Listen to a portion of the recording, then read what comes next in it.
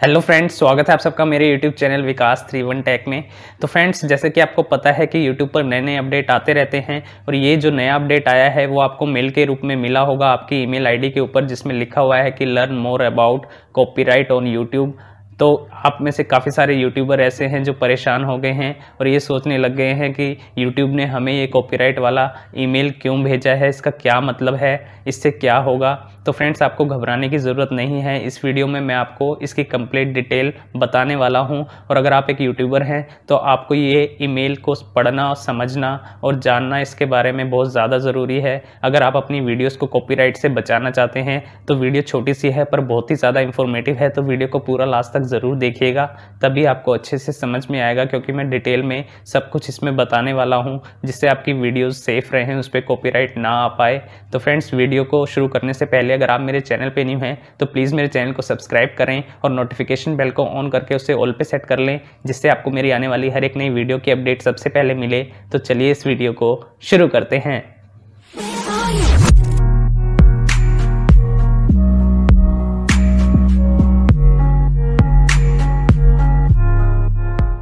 तो फ्रेंड्स आप देख सकते हैं, हम आ चुके हैं अपने मोबाइल फ़ोन की स्क्रीन के ऊपर और मैंने वो मेल ओपन किया हुआ है, जो आपको भी आपकी ईमेल आईडी के ऊपर आया होगा। यहाँ पे लिखा हुआ है, ऊपर learn about copyright on YouTube ठीक है? आपको इसमें डरने की कोई ज़रूरत नहीं है, ये कॉपीराइट के बारे में आपको सिखाने के लिए यूट्यूब ने मेल भेजा है कि आपको पता होना चाहिए कि कॉपीराइट क्या होता है, ठीक है? जिससे आप कोई, अपनी वीडियोज़ में गलती ना करें और आपकी वीडियोज़ के ऊपर कॉपीराइट ना आए।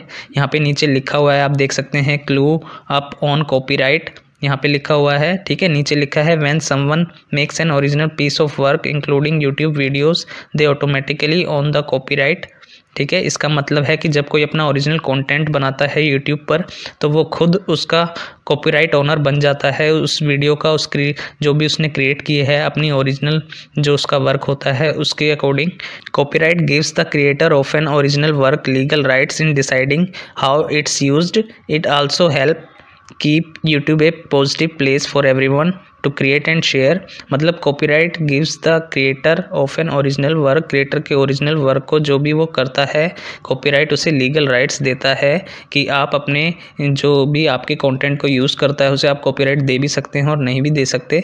ठीक है? और इससे यूट्यूब पर एक पॉजिटिव मैसेज भी जाता है कि यूट्यूब पर सब अपना अपना क्रिएट करते हैं कॉन्टेंट ओरिजिनल कॉन्टेंट क्रिएट करेंगे और उसे ही अपनी चैनल के ऊपर अपलोड करेंगे। तो काफ़ी पॉजिटिविटी इससे बढ़ती है। और यहाँ पे नीचे लिखा हुआ है, आप देख सकते सकते हैं। Copyright can sound daunting so this playlist is here to help you understand how copyright and content ID works on YouTube तो आपको जैसा कि कॉपीराइट सुन के ही डर लगता है कि हमारी वीडियो पे कोई कॉपीराइट तो नहीं आ गया है, इसलिए यहाँ पे यूट्यूब ने खुद आपको सजेस्ट किए हैं तीन टिप्स दी हैं, जिनके द्वारा आप समझ सकते हैं कि कॉपीराइट क्या होता है। ठीक है, सबसे पहली टिप है, वो है learn what YouTube content ID claims are मतलब यहाँ पे जो कॉपीराइट क्लेम होता है और कॉपीराइट स्ट्राइक होती हैं, दो चीज़ें होती हैं तो इसमें पहले वाले ऑप्शन में आपको कॉपीराइट क्लेम के बारे में बताया है how to manage and dissolve them and get the step by step guide on the dispute process process मतलब कंटेंट आईडी क्लेम का मतलब है कंटेंट क्लेम आपकी वीडियो के ऊपर जब आता है, जब आप किसी और की वीडियो अपनी वीडियो में यूज़ कर लेते हैं तो आपको कंटेंट क्लेम जो उसका कॉपीराइट ओनर होता है, जिसकी वो वीडियो होती है, वो आपको क्लेम भेज देता है। या फिर आप किसी सॉन्ग को यूज़ कर लेते हैं अपनी वीडियो के अंदर तो आपकी वीडियो में जो सॉन्ग आप ने यूज़ किया है, वो उसका जो कॉपीराइट ओनर है, उसकी तरफ़ से आपको कॉपीराइट क्लेम मिल जाता है। कॉपीराइट क्लेम से आपके चैनल के ऊपर कोई इफ़ेक्ट नहीं पड़ता।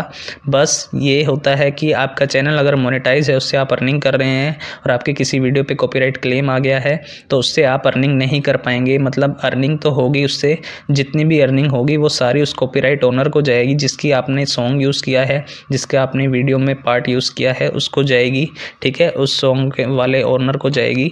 तो ये आपको सीखने की ज़रूरत है कि आपको किसी के भी सॉन्ग को यूज़ नहीं करना है, जिससे कॉपीराइट क्लेम आए आपकी वीडियोज़ के अंदर। सेकेंड टिप है, वो है see which of your video have copyright strike and how you can filter your videos to address them इसमें लिखा है कि अगर आपके किसी वीडियो के ऊपर कॉपीराइट स्ट्राइक आ जाती है तो आप उसे कैसे फ़िल्टर करेंगे अपनी वीडियोस को, उसके लिए आप क्या कर सकते हैं? जैसे मान लीजिए आपकी ने किसी का कंटेंट यूज़ किया और उसने आपको कॉपीराइट स्ट्राइक दे दी यूट्यूब पे तो आप उससे रिक्वेस्ट कर सकते हैं कि कॉपीराइट स्ट्राइक हटा ले, कि मैं आगे से यूज़ नहीं करूँगा। और अगर आपके पास तीन स्ट्राइक आ जाती हैं नब्बे दिन के अंदर तो आपका चैनल डिलीट भी हो सकता है। तो आपको ये हमेशा ध्यान रखना है कि आपको किसी और का कॉन्टेंट यूज़ नहीं करना, अपना ओरिजिनल कॉन्टेंट बनाना है। उसके बाद है तीसरी टिप है understand what kind of content you can and can not post on YouTube along with answer to common question from fellow creators तो इसका मतलब है कि आपको किस तरीके का कॉन्टेंट बनाना चाहिए और किस तरीके का कॉन्टेंट यूट्यूब पर पोस्ट करना चाहिए, किस तरीके का नहीं, ये आपको समझना बहुत ज़्यादा ज़रूरी है। आपको किसी और का कंटेंट यूज़ नहीं करना, अपना खुद का ओरिजिनल कंटेंट ही आपको बनाना है और वो यूट्यूब पे डालना है, तभी आपका चैनल भी ग्रो होगा, आपको ये और आप कॉपीराइट से भी बच पाएँगे। आपके चैनल पे कोई भी कॉपीराइट नहीं आएगा। अगर आप खुद का ओरिजिनल कंटेंट बनाएँगे, ठीक है, यहाँ पे चेकआउट द प्लेलिस्ट आप जाके चेकआउट कर सकते हैं, ठीक है? तो ये तीनों टिप्स हैं जो आपको फॉलो करनी है तो आपकी वीडियो पे कॉपीराइट नहीं आएगा। आपको हमेशा ध्यान रखना है, अपना ओरिजिनल कॉन्टेंट ही बनाएँ।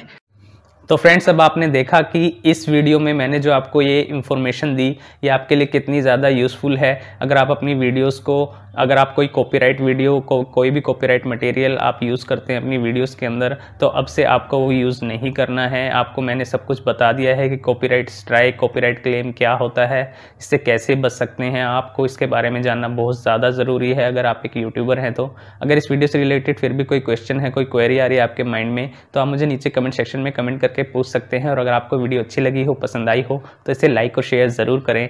Thank you